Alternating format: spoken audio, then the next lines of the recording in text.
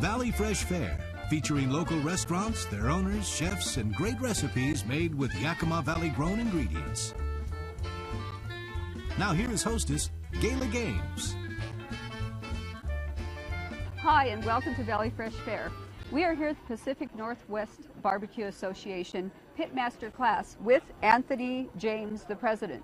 Anthony, can you tell us a little bit about what is going on today? Well, the PNWBA is putting on actually two classes. Out here we have uh, about nine barbecue teams who are learning how to cook competition style barbecue. They're cooking pork, shoulder, brisket, chicken, and ribs, and they'll be here uh, about 12 hours all day long. And then inside the museum, we have a class of 24 students learning how to judge barbecue and uh, how to score it and be fair and eat a lot of food. Well, how did this start? Uh, the PNWBA started about 20 some years ago. Wow. Just a group of people who uh, used to cook chili and then wanted to expand out and uh, started with just a handful, and now we have about 600 members and competitions in four states and three provinces up in Canada. So, Anthony, are there instructors here today that the, the team actually gets some uh, cooking lessons from? Yeah, we actually have four instructors today. They've all uh, been a champion winner and all been to the Jack Daniels Invitational competition. Okay. We do uh, a variety of demonstrations for all the cooks and then walk around and get some hands on hand holding uh, with the individual teams. Well, let's hold hands and go and see what they're cooking. This sounds great.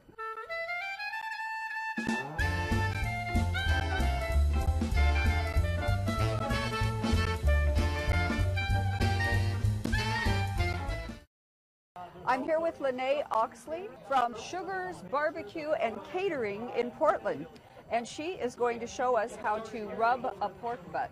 Yep, I'm going to show you. Tasty. I'm going to show you the basic principles of how you can do a championship pork butt at home on your grill. We're going to start with a beautiful, fresh, uh, Midwest grown pork butt. Uh, this is part of the whole shoulder. This has got a lot of internal fat. This is going to, over a period of uh, time, is going to render and make some delicious, delicious barbecue. So we're going to have a really good time with this. And I'm going to show you how I kind of get this from where it's at to where it's going to go on the cooker. You've got a lot of mm-hmm. internal uh, fat in here. Right. You've got a sort of a fat cap that's on here. I'm going to help this render out with the heat and the smoke and the temperature, uh, the time. So I'm going to just score this right like this. And I'm only going about a quarter inch deep on this meat. Quarter inch. Okay. My rub, um, in this particular instance, I'm using a, a, a, a prepared rub. Uh, this is uh, Dr. Barbecue Ray Lampe, big time barbecue rub. Uh, this is a great rub. It's got a lot of good salt and a little bit of sugar, uh, some cumin in it, and a lot of different spices. And do you want your meat temped, room temped before you start all of this? Or? You want it cold. Um, this this actually just came out of the uh, the, the, cooler. Okay. Before you guys uh, um, uh, uh, came over here, and so it's cold. Mm-hmm. Um, and then what I'm going to do is I'm just going to rub this down, and um, you can be liberal with this. This is a large piece of meat. It's going to take a while to cook. It's going to lend itself really well to a good coating of rub. Oh, that's a great um, you know, rub. Wow. too small a rub, and you're not going to have uh, any of that kind of saltish flavor. Um, too much rub, and that's all you're going to take. So it's a careful balance, and that comes with a little bit of time and a little bit of uh, experience with this. Mm-hmm. You can have fun playing, of course, and create your own rubs. Absolutely. And, okay, now I've seen some people are putting mustard on their pork butt even before they start with any of the uh, seasoning. Right. What's the secret? I personally don't use mustard, which is why I didn't put mustard on here. A lot of times people will use mustard on their brisket and on their pork barbecue. All this is going to do is this going to create a tacky surface for your rub to stick to. You don't taste the mustard at the end of the cook. It, it completely dissipates and it becomes part of the, the, what they call the bark on the on the uh, on the on the barbecue. And once you put it on the cooker, how many minutes or hours are we planning on this to cook? Well, again, you know, the, the, the old adage with barbecue, the basic principle of barbecue at 250 degrees is going to be um, generally about set about 70 to 90 minutes per pound. So this particular one, you know, ideally you want to cook this for about this is going to be about a 10 hour, uh, okay. uh, 10 hour uh, cook time. And this is pretty much ready to go on the cooker. So I already have one that I put on the cooker about an hour ago now, uh, 45 minutes to an hour, so we can lift the lid uh, and we can take a look and see what that looks like. We're using one of my old bullets that I've. Uh, this has traveled around the uh, country. This is a Weber Smoky Mountain bullet. The meat that's been on here has been on here uh, for a couple hours now. Uh, It's just kind of starting that process of barbecuing, starting that process of getting that bark together, getting that smoke. You see right now, you see no smoke coming out of this. It's just radiant heat. The smoking is now done with this barbecue. This heavily smoked a little while ago. This is like a little chimney, like you see some of the other cookers going. This is what you want for the duration of the cook. If it looks like a, a train exhaust, that's not okay. That's over smoking, and that's not what you want. You want a nice blue, thin uh, uh, uh, smoke coming out of here, if at all.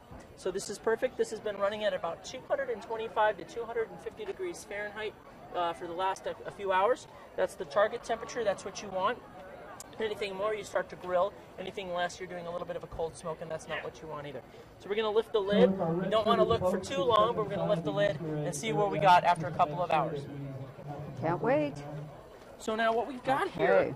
is we've got nice we've got the pork butt that I kind of splayed out open a little bit because our time that we've got. Um, I've got the nice rub. What do you think? What does that smell like? It smells like heaven. Like you want to get you want to yes. pulling it apart. Let's get the utensils, but it's a little too so early. It's isn't It? obviously it's not ready Right. yet, but you see this beautiful bark starting to form. That's what you want. And in about a few hours, I'm going to go ahead and spray this with some apple juice, like I mentioned earlier. So that's what we've got going on right here. This is in uh, this is in This good is mode Just right layer now. that up and that's and- the only thing you want to do with it. Less is more. And if you're looking, you're not cooking. Less so I got to put this back in. Put Okay. back because we're losing temperature every Our single kind time of I open cooking, this. yes. Uh huh. And uh, the good thing about these guys is they rebound really quickly. The temperature will come back really quickly.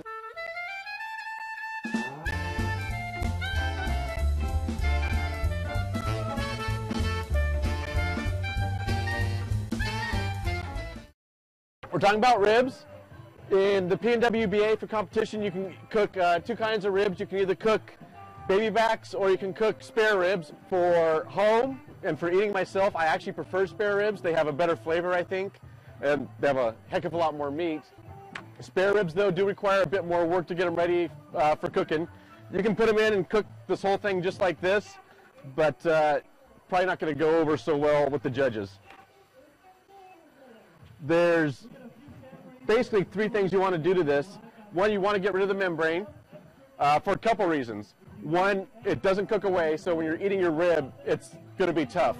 Second, it is going to keep uh, your smoke and spices from penetrating the meat. So you want to get rid of that. The thing I learned at my first competition when I was sitting there struggling with getting the stupid membrane off, paper towel gives you the extra grip to actually grab onto that thing. Um, that made all the difference.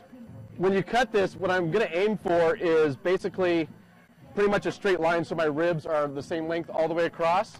That is a St. Louis cut. This end is going to be a little more difficult. There's a joint there in the ribs, but you're going to have to cut through it and it takes a little bit of effort.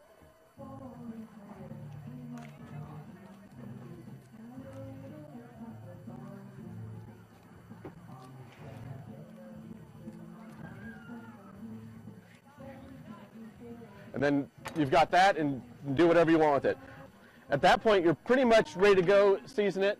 When I cook uh, my ribs, I do mustard and I do some rub and throw them in the cooker. And that's what I do for competition and at home a lot. But actually, one of uh, Christine's favorite things is actually really gooey ribs where you kind of put them on the grill and grill them and then sauce and churn and sauce and churn and sauce until that all caramelizes real nice. Bit more work, but hey, it's worth it. Also, before I season these, I'm going to give you the tip that my barbecue mentors took three years and they were leaving the state before they told me. So you can take this and you can put it on just like that and it'll cook, it'll be great. When you put it on the grill, go like that. See what just happened? Squeeze it together. When it cooks, it will actually stay that way. Now your ribs are actually thicker looking than they were when you, before you started. And then for rubbing these, like I said, just some mustard. And again, the mustard isn't really going to impart any flavor. It's just to help hold on the rub. And remember, you want to rub both sides of the pork. When that judge is taking a bite, you don't know where they're going to bite from, which also means you want to get the edges because if you're competing, they're only going to take one or two bites of that piece of meat, and you want to make sure that they get flavor right away. You put on ribs for about six hours, which is about how long these want to cook. They're to think you're uh, you're an awesome human being. Now, a lot of people, you know, they, th- they think Tony Roma's or some other places and fall off the uh, bone ribs. For competition barbecue, if it's falling off the bone, it is overdone. What you want is you want it just done enough so that when you bite it, you get a nice clean bite that comes away, but the rest of the meat actually stays on the bone. So you want it tender, but you want it to still have some uh, some texture to it, not mushy. What I usually do is six hours on the pit. I take them off and rest them for a good 45 minutes, and then 15 minutes before I'm going to cut them, I put them back on and give them a glaze of sauce, just enough to kind of give it a shine and some nice flavor. And there is another thing you can do if you don't have a lot of room, so you want to do a dozen racks of ribs, but you don't want to mess around with a uh, rib rack, or you don't have any. Take this guy, roll it up, put a couple skewers through it, and it will cook no different than if it's flat. Yeah. And if you do this, you can actually fit eight racks of ribs on there, four on each level. Optimally, you want to try and cook them at 225 um, on a warm day like today, and in general, with uh, charcoal the way it is these days, you're probably going to be around 250. Um, you can bump if you're again if you're pressed for time, you can bump that up to 300 and get them done faster in about four hours. What you want to shoot for is to be able to take a skewer. It's called the toothpick test, and have that just kind of slide in there uh, really smoothly without any resistance. And so you just take a toothpick or a skewer and kind of put it through the meat, and if you got that, you're golden. Um, but honestly, if you put a rack of ribs on for six hours, they're going to be done.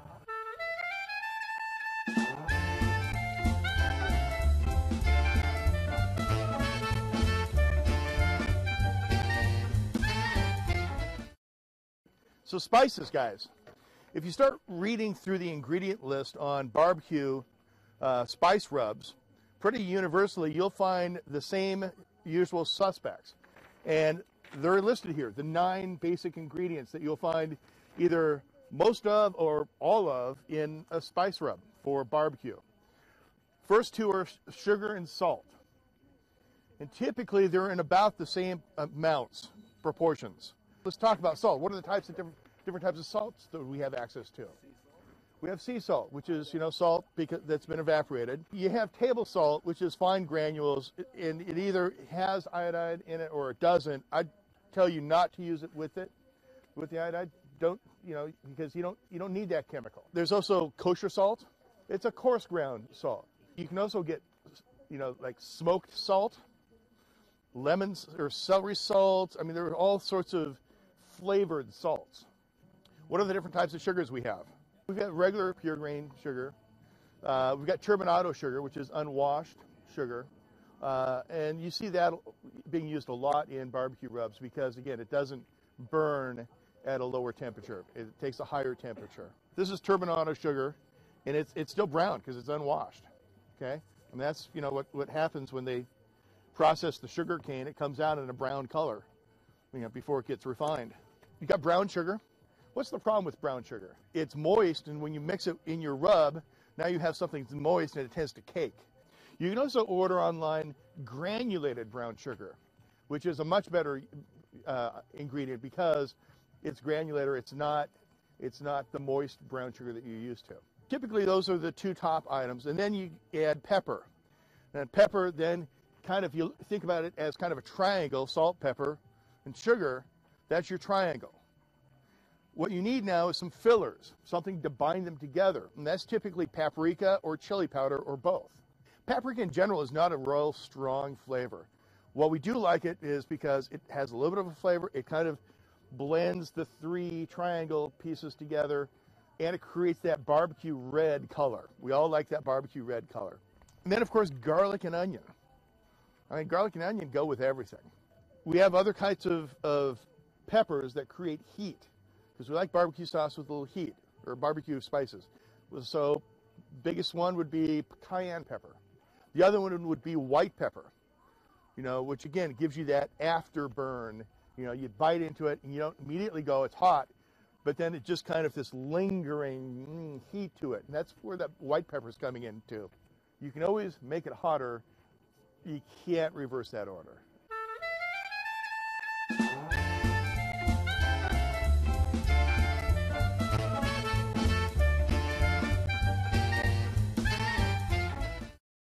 Talk about barbecuing chicken. And the first thing to talk about barbecuing chicken is barbecued chicken sucks. Uh, just straight up. Low and slow chicken is not something that is actually good. Um, most barbecuers, once they start doing it a little while, they figure out, wait, hot and fast is still the way you want to cook chicken. Uh, it just, if you cook this piece of chicken low and slow, the skin will just turn into absolute rubber. In fact, kind of the holy grail in uh, competition barbecue, because it is so tough and everyone's got their different ways, is to try and make it so the skin is crispy. And if you know, if you're tasting your chicken before you turn it in, you bite it and it has that the skin is kind of rendered nice and fat, and you can bite through it. It's a great feeling. When I do my chicken for barbecue and at home, uh, I cook it hot and fast like that uh, one that's going there is about 450 degrees. I do it in a dry pan and just two of these suckers at the top level and effectively I'm baking it as opposed to barbecuing it. There's a few ways you can cook a whole chicken. There's the ever popular beer can chicken method. What I do at home when I'm if I'm going to make beer can chicken, I, I don't. I will take uh, 7 Up or ginger ale, pour half of it out, fill it back up with Jack Daniels and shove a bunch of herbs in there and then stuck that pepper with the chicken. The other way to cook uh, whole chicken, and it's actually how I cook them for a competition, is uh, what's called spatchcocking. And it's basically turning the sucker into a flat bird. Um, effectively, yeah. Best thing in the world for doing that is get yourself a pair of these. Uh, nice chicken shears. Now, what I do, and it's very cathartic, let me tell you, is I'm before I cook this thing, I'm to get it ready for doing my preparation, uh, my uh, cutting up later. So after you got it cut out, you basically you want to you want to break the uh, breastbone so it lays flat, and you basically you can throw it in the cooker like that. And uh, usually on my bullets, I'll cook two of these. I cook them with the breast side in because the heat's coming up the outside, so the breast will cook slower. And if these get burnt, I don't really care because I'm probably not going to turn those in. Um, the other thing I do before I even uh, do any seasoning or anything is I break all these joints. That way, when I am cutting it after it's cooked, the knife will go right through and I don't have to worry about trying to cut that joint. Obviously, like I said, usually this has uh, been in the brine for a few hours. Uh, apple juice, some Johnny's, a little bit of uh, herbs, things like that. Uh, I actually will take my herbs, rosemary, thyme, basil, throw them in uh, apple juice, and bring the apple juice to boil and then turn it off and let the herbs steep and get the oils out and then dump that in with the rest of the apple juice. And the chicken really absorbs all those uh, oils out of the out of the herbs. Remember, season, season just like everything else, all the meat, both sides. Uh, even if they're not going to eat this part, it's still going to help you out.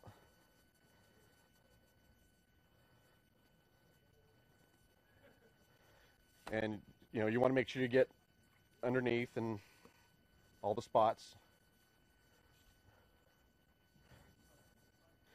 And as far as smoke on chicken, uh, most people like a fruit wood, something mild. Um, I actually like a bit of hickory on my chicken, not a lot, a, a little bit of that, and then mixed in with some apple or cherry. Something to give the chicken some flavor because really it's chicken. Most cooks will agree chicken is actually probably the hardest of the categories over the long term. You, you know, get to the point where you learn here's how long you put on a brisket. There's a real fine line between cooked chicken and dry overcooked chicken. You know, you want to hit that point where it's just done when you pull it off, and there's long time, well, uh, competitive competitive teams that have turned in raw chicken because they were too far on that other side trying to uh, keep it moist. But you know, you go over that line and it's sawdust. Yeah, if there's any one meat that you're going to temp to make sure it's done, temp your temp your chicken. And you know, we'll have cooks who get disqualified on like one piece because yeah, I temped that one, I temped that one. Oh, they're probably all done. Well, this one was maybe in the middle of the cooker, further away from the heat, and you know, judge got it, and that's the way it is. Um, we don't want to kill anybody with raw chicken. For the breast, probably about uh, 170 or so when I pull it, because uh, it's going to come up in temp. You, I want to try and hit 175 to 180 in the dark meat, uh, for sure.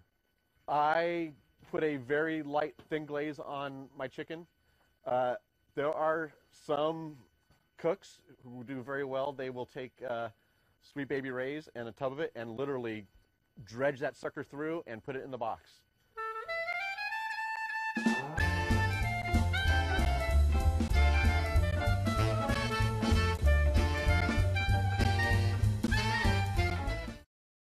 So anyway, tri-tip. How many of you guys have eaten tri-tip before? That's great because you know when I started barbecuing, I I'd never heard of tri-tip. You know, it's not something you know at the time. It wasn't something seven years ago that you you go to Safeway and look in the cases, you wouldn't find tri-tip. Uh, very popular down in California, and finally has become popular up here. Now you can go to Costco and buy the two pack, which is where these came from, uh, without any problem. This is great for sandwiches. I love cooking up a bunch of these and, and get a big baguette and make sandwiches. Um, it, it's the sirloin part of the beef, so it's coming down from this area of the beef. Um, but it is a, a tough piece of beef. It's like the brisket. It's got a, a, just a lot of big fibers going through it. So oftentimes, well, to me a sometimes you'll buy it and it'll have almost no fat on it. This one has almost no fat, but you can see the grains in the fat in the grains. That's great. That's what gives it the good flavor. But sometimes there'll be a big fat cap on the backside, uh, especially if you buy it from QFC sells them, uh, and usually they've got a big, you know, piece of fat on it. And I, I will always trim those off. Um, the other thing that I will do typically is um, use a Jaccard on them. You guys ever seen one of these? It's, some people call it a needler, and it's a Jaccard. And the idea is that you're going to take it and tenderize it, beat the, you know. Now, don't do it too much because it will make it mushy. You know, you want to just kind of break it, break it apart a little bit and make it still firm. I mean, literally, I've had it, I've overbeaten it a few times and go, oh, yeah, it's tender, but it's also mush. So it doesn't have that consistency. Sometimes when you buy it from a butcher, they have already needled it. So you should ask. When you buy it from Costco, come real carefully, you can see little holes already in this tri-tip. They already ran it through a needler to, to tenderize it. So take a, a, good look at that before you start whacking the heck out of it with your needler. I'm going to put some rub on it, and we're going to let it sit for about 45 minutes, and then I'm going to throw it on the grill. And I'm going to caramelize it, you know, get a nice char on it on both sides.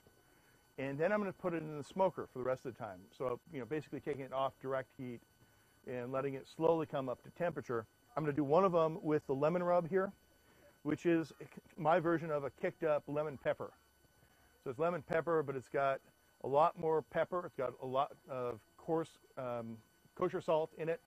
So you get that big bite to it. Uh, a whole bunch of onion and garlic. The other one, I'm going to use my steak seasoning on it because after all, it is, it's basically a steak. And you guys can try either one and see which one you guys prefer. Also, before I put it on the grill, I'm going to get, get out the olive oil and cover the whole thing with olive oil. That way, A, it doesn't stick, and it also helps the, get the, the, the, uh, the rub nicely stuck on. I don't want to cook it to well done. I'm going to take it, as soon as it gets nice and brown, I'm going to pull it off and stick it just in direct heat. You know, I'll probably just stick it inside the chamber, the main part of the smoker. I want it still to be pink in the middle. If it ain't pink, if it's gray, it's going to be a tough piece of meat, even though we've tenderized it. So you, you want to be able to get it up to, you know, I'll get it up to 135 degrees or so. Pull it off, wrap it in a double sheet of foil, and set it aside on the smoker, just kind of on the shelf for half an hour, at least. Let it get happy. After it sits for a while, then I'm going to slice it, and at the bottom of the foil, you're going to have all these wonderful juices. And the trick is to, to incorporate those juices, run all of the, the meat through the juices, okay? And to me, that's the best way of, of, of serving it.